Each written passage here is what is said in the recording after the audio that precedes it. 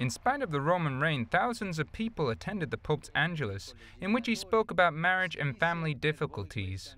Nel progetto originario del creatore non c'è l'uomo che sposa una donna e se le cose non vanno la repudia.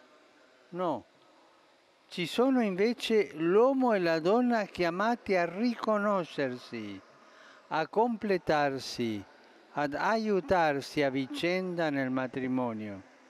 Se invece prevale nei coniugi l'interesse individuale, la propria soddisfazione, allora la loro unione non potrà resistere.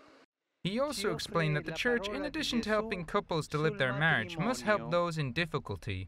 L'amore ferito può essere sanato da Dio attraverso la misericordia e il perdono.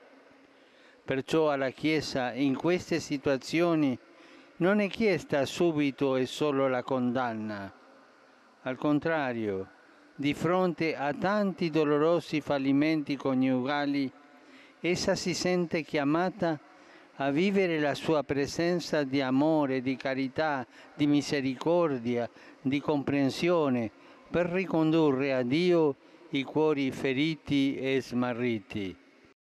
In addition, the Pope asked Catholics to pray the Rosary every day during this month of October. This includes the prayer to the Blessed Mother under your protection and the prayer to St. Michael the Archangel. He explained to reject the attacks of the devil who wants to divide the Church.